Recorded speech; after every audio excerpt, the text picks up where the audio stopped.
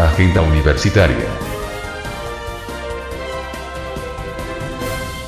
Buenas noches, soy el chef Juan Carlos Contreras Guerrero, soy licenciado en gastronomía. Eh, es una clase de curso navideño, es básicamente un pavo ahumado, pierna de cerdo, eh, adobada junto con un lomo mechado.